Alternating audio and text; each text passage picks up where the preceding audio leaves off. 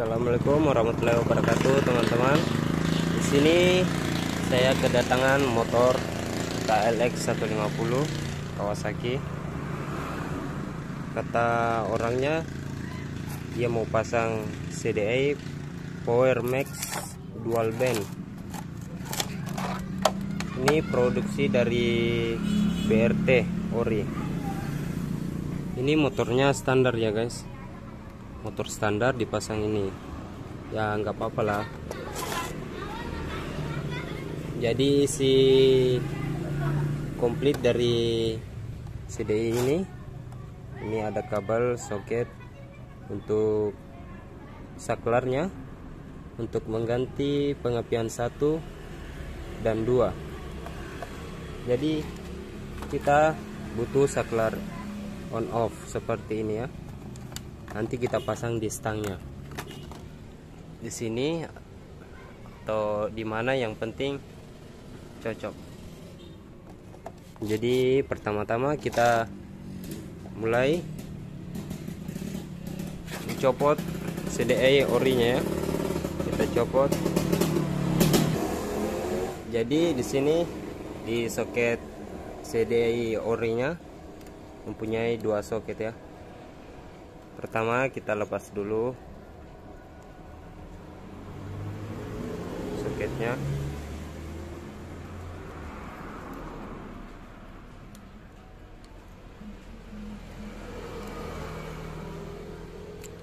Nah ini teman-teman soket dari CDI KLX 150 cara memasang CDI BRT ini seperti ini ya ini dia mempunyai soket dua sama seperti yang ori. Jadi ini CD Power Max dual band PNP ya plug and play. Jadi langsung pasang. Coba kita pasang dulu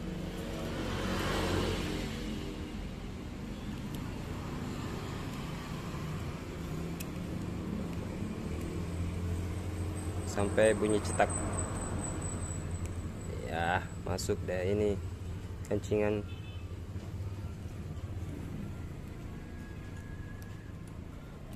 Dan seperti yang tadi.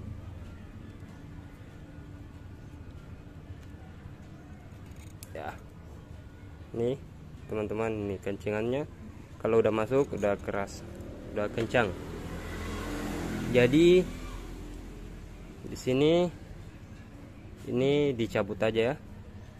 Kita pasang soket bawaan dari BRT dipasang di sini. Ini untuk mengganti pengapian satu dan dua. Kita tekan ini terus tarik. Lalu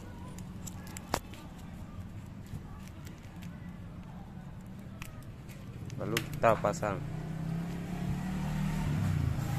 seperti ini ya teman-teman.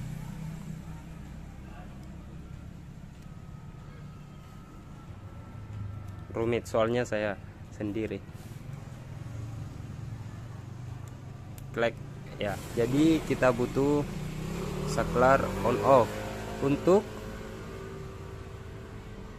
untuk mengatur pengapian satu dan dua. Kalau lampu merah ini nyala berarti pengapian satunya on. Kalau yang kuning ini berarti pengapian duanya on. Kalau yang biru ini ini adalah lampu indikator aki misalnya akinya tegangannya rendah dia nggak nyala. Ya. jadi kita butuh saklar yang ini. Ya ini kita pasang di stang. Kita pasang di sembarang tempat aja. Maaf ya saya lagi sendiri jadi saya harus memasangnya dulu. Kita pasang di sini ya. Kayaknya di sini bagus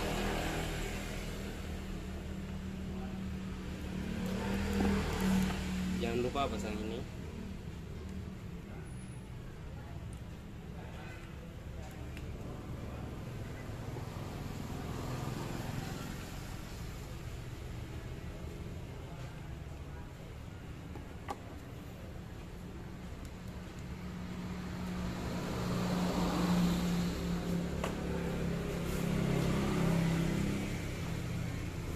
Kita butuh UPM plus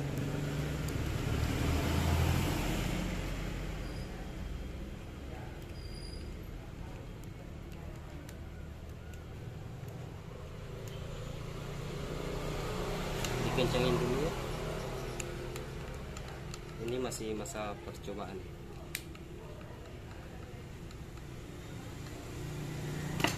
Lalu kita atur kabelnya gimana aja yang kalian suka. Cari yang rapinya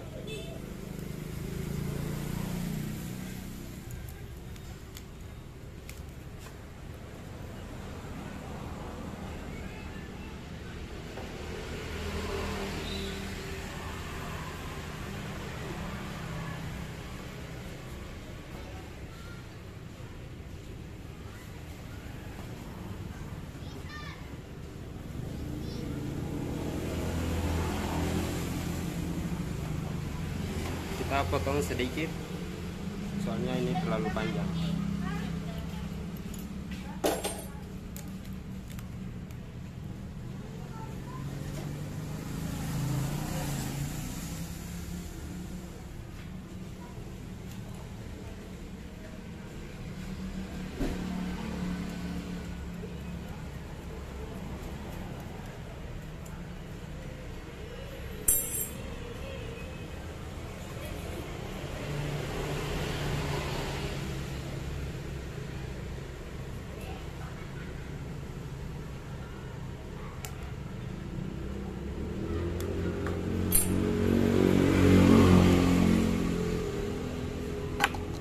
lalu butuh alat ini.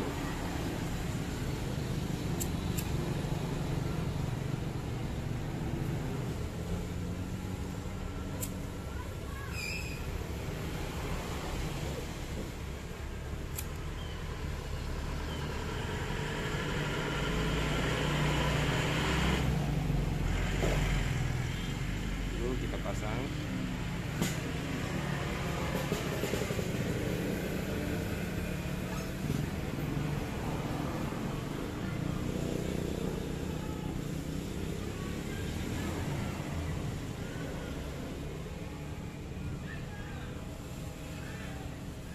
ini cara saya untuk menyambung kabelnya.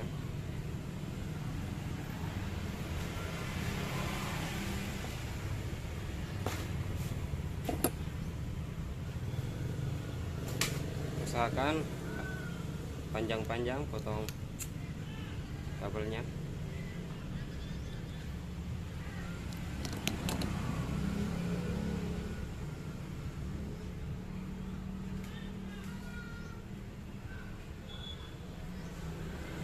Oke, ini ya cara saya.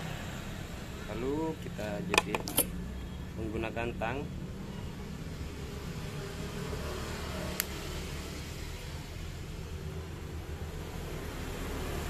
Maaf ya suara saya agak serak. Soalnya habis konser semalam.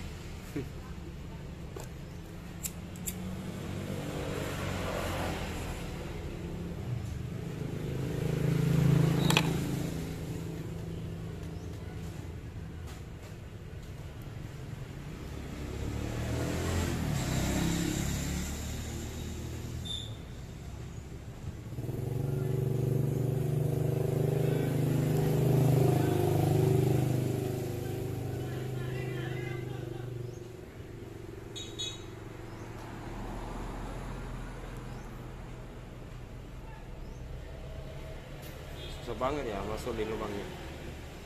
Ya guys. Oke masuk. Tinggal kita tarik kabelnya lalu kita jepit lagi menggunakan tang. Ya apa deh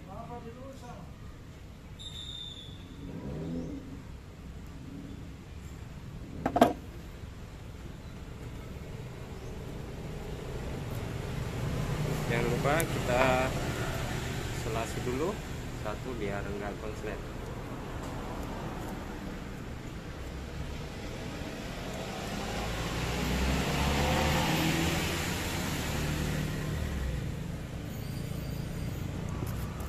sudah itu kita coba ya. Ini kabelnya ini dari soket sini. Turun. Hingga sini soketnya ini buat ganti pengepian satu ke pengepian dua. Coba kita tes. Kunci kontak on. Ya kunci kontak on ini lampu indikatornya warna merah ya. Ini ini. Warna merah menandakan pengapian satu on. Terus kita pindahkan ke pengapian dua. Pencet tombolnya nah ini warna kuning. Ini adalah pengapian dua. Mengerti ya guys? Jadi ini lampu birunya ini adalah tegangan akinya. Mungkin akinya ini agak nggak full ya. Jadi nggak nyala. Jadi cara memasang sini kita perlu mengambil karet bekas ori. CDI nya ini dicopot dulu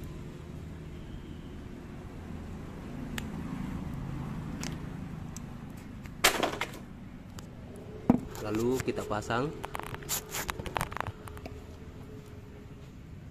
Pasang di sini.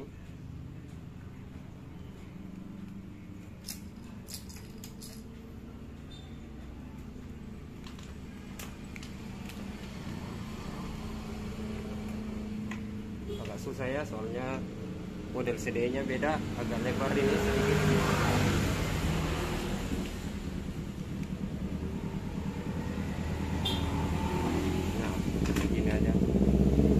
jadi ini perbedaannya guys. CDI ori ini kecil tapi dia panjang. Yang BRT ini lebar. Cara memasangnya di sini kita perlu kita perlu ketok ini sedikit ya supaya ininya bisa masuk. Soalnya ini agak lebar. Kita ketok ininya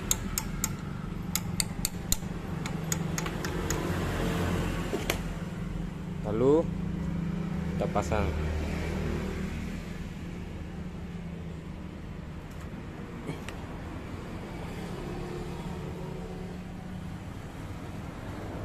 Nah gini ya pasangnya memang nggak rapat soalnya beda tempatnya. Nah kita tes. Nyalakan. Coba kita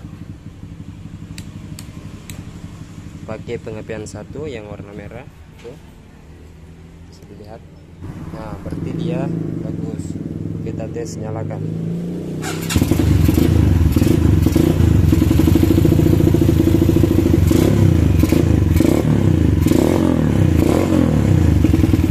Oke nyala guys. Berarti kita berhasil memasangnya.